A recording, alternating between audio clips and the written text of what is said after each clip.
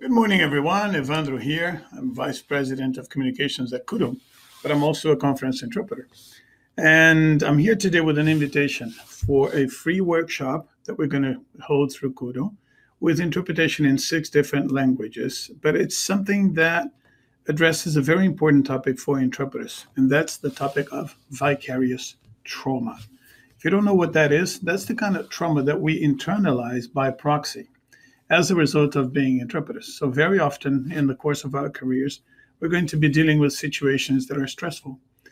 Uh, we might be dealing with a refugee situation, or we might be in a healthcare setting where we're breaking hard news to interpreters, or simply because we've heard something we wish we could unhear, or saw something we wish we could unsee.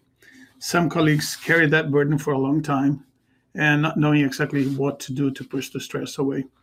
And we're now partnering with a colleague, Ludmila Golovine, who has agreed to talk to us on the 28th of March at 11 a.m. Uh, Eastern Standard Time about that particular topic.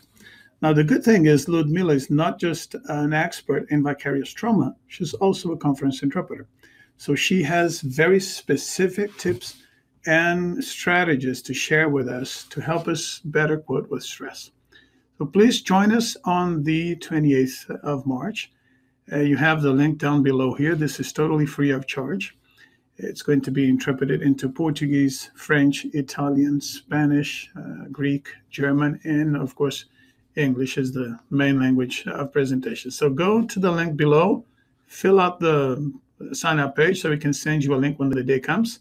And we look forward to seeing you. Of course, we also count on you to spreading the word and sending it on to your colleagues, interpreter or not interpreter. And I'm sure they're going to enjoy this very much, as I'm sure you will too. Thank you very much and see you on the 20th of March.